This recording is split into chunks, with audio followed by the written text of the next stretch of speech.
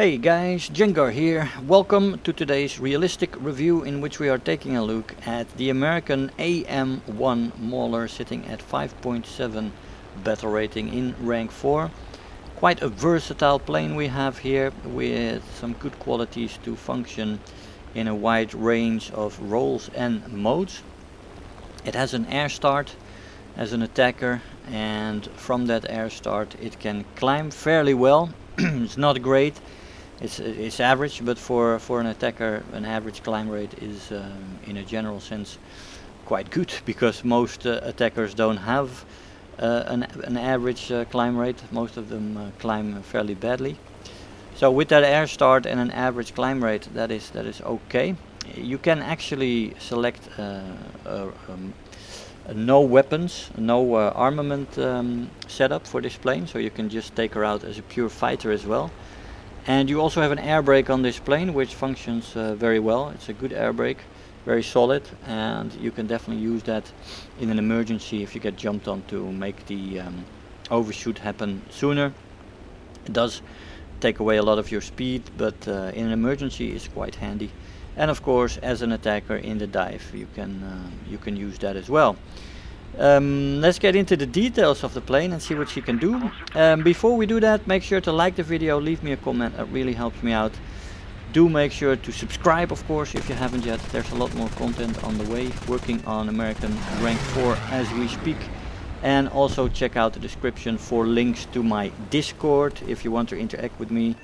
And um, for the links to uh, Rumble and Locals. Now this plane, when it comes to speed, it is not very fast. I have to say that. On on the deck, it is slower than the Invader, for example, that we reviewed a couple of days ago. it is uh, at sea level without WEP 505 kilometers an hour and with WEP 526.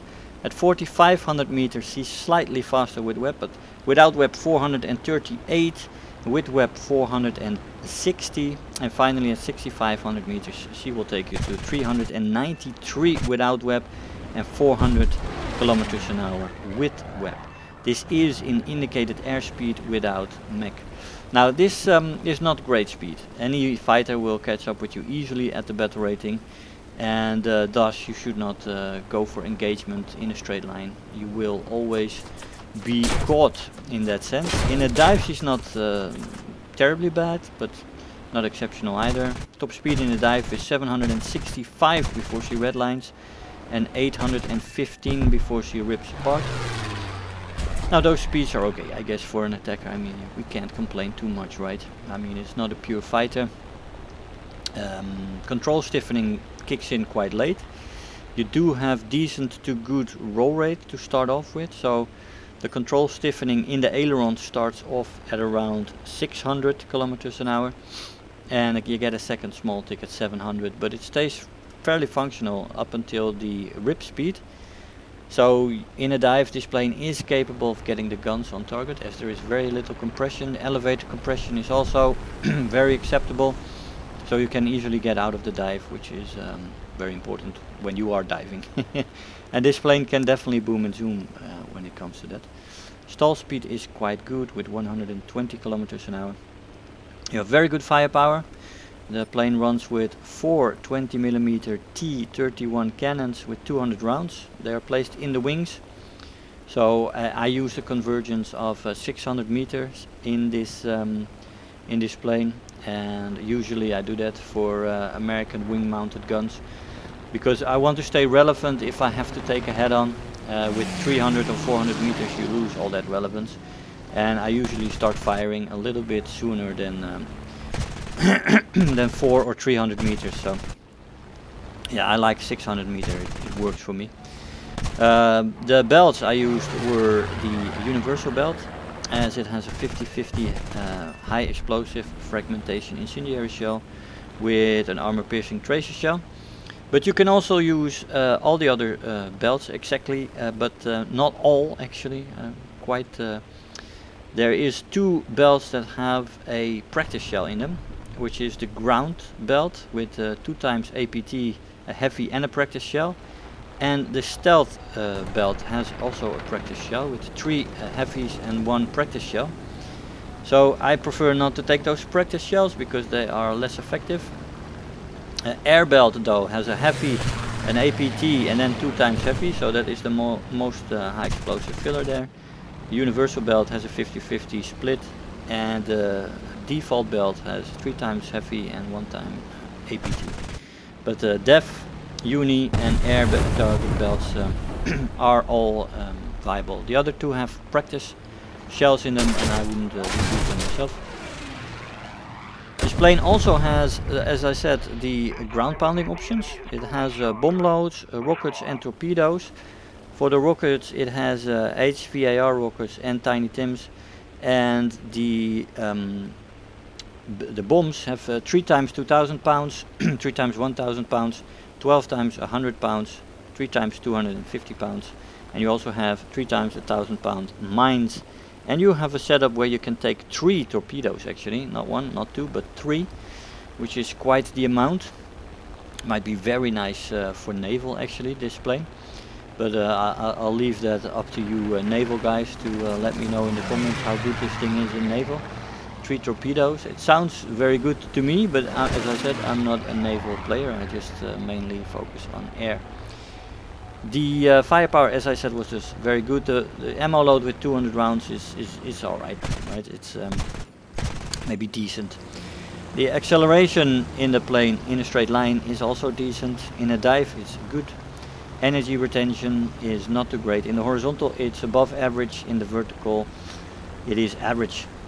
climb rate is also no more than average, but the air start uh, makes it uh, makes it all right. The start position is then decent, but you still will have to side climb if you want to use this plane in the pure fighter role, which I did a couple of times. Was uh, actually quite nice with the firepower, very effective.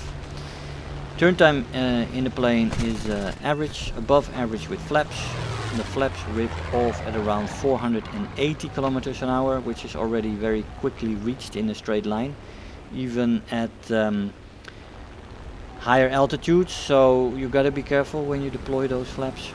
The roll rate is uh, decent. Uh, it is good actually between 400 and 600 kilometers an hour.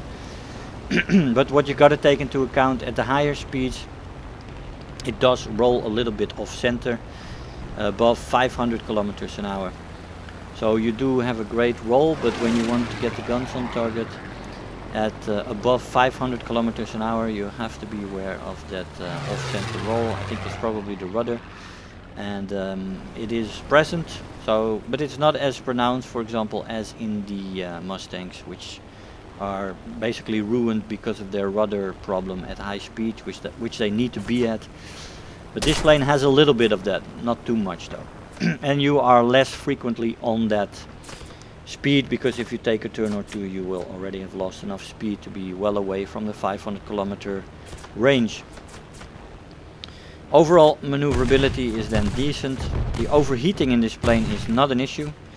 It does uh, overheat a little bit with WEP usage but it cools off fairly quickly so that that's alright, no problem. Durability in the plane is also decent, can take a hit or two. It's not the most sturdy plane in the world, but it's it's uh, it, it, outperforms most uh, fighters, except of course uh, Thunderbolts and uh, Corsairs, which are just very very sturdy. The repair cost in this plane is great. it has a 5,940 Silver Lion repair cost. It is one of the best at this battle rating, so that is actually great. Rewards in the plane then are for the research points a 344% modifier with a 1.72 multiplier and the Silver Lion rewards are a 240% modifier with a 1.6 multiplier. The RP is average and the Silver Lion rewards are unfortunately below average. Now as I said that is compensated a little bit with the repair cost which is great. if you get damaged or destroyed it won't cost you that much so you will always be able to get a profit but then the rewards you get for your performance is actually average or below average. So yeah it, it's not great when it comes to that. Unfortunately not a great grinder but uh, it's a bit uh, meh when it comes to that.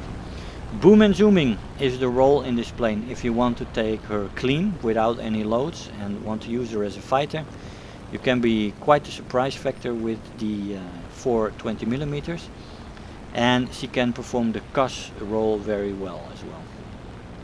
So close air support and I would say she is one of the better ones at the battle rating because she can really do a variety of modes with the three torpedoes in um, naval and with the great bomb loads or rocket loads in uh, ground RB with the 20 millimeters added to that I think this plane can do very well in both naval and ground RB and in air RB as I said I had a great amount of fun as well as this plane does perform uh, quite well for an attacker. Uh, both on columns and on uh, enemy fighters which are often surprised by the maneuverability that you have.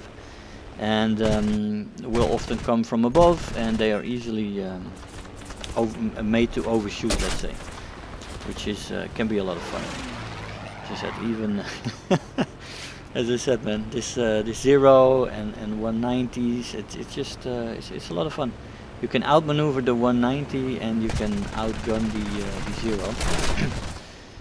It's uh, it's good fun. Yeah, this this maneuver might not have been the best but yeah you also make mistakes. And I was still finding out the maneuverability in the plane and what it actually can do.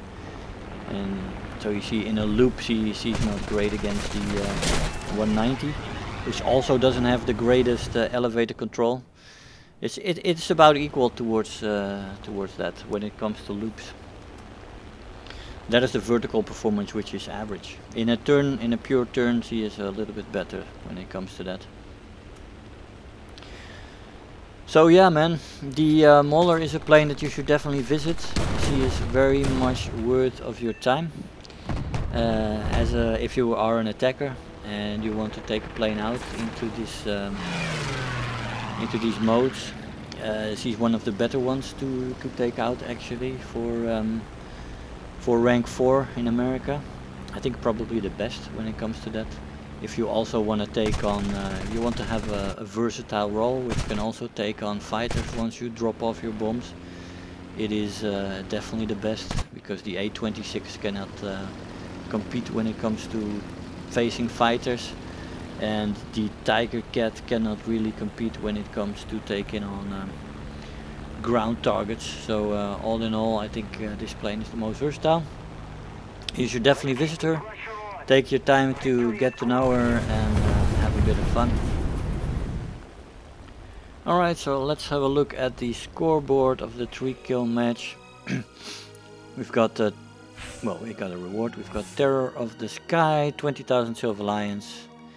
I'll see you in the conclusion. Hey guys, so here we are after the match. Now, as I said, great attacker, great versatility, both in modes as in what you can do in a match. You can actually perform the ground attacking and then actually take on fighters as well with a good chance to come out alive, which is great. Good air start, nice air brake, great guns, good performance in a dive up to about 500 kilometers an hour. Then you start to get that roll off center, which come, becomes pronounced after the 600 kilometers an hour range. But um, yeah, good firepower, nice maneuverability, and um, I, I quite like the plane and when it comes to the repair costs it compensates for the rewards.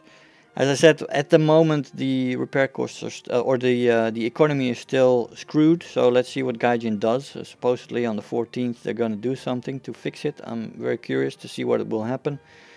But um, you will still get a steady stream of income from this plane and um, it's a joy to fly and it's very versatile in the modes. Naval, ground, air RB, all, all viable modes for this plane. It can pick up uh, all kinds of loads with it when it comes to the torpedoes, the bombs, the rockets and with the guns. It's just a very nice package, this plane. Guys, I hope you enjoyed the video. I want to thank you all for watching and I'll see you guys next time. Bye bye. If you're new here, make sure to hit the subscribe button, become part of this community. If you are already a subscriber, don't forget to like the video do leave me a comment and if you really feel like helping out today, make sure to share the video with your friends and let them know about the channel.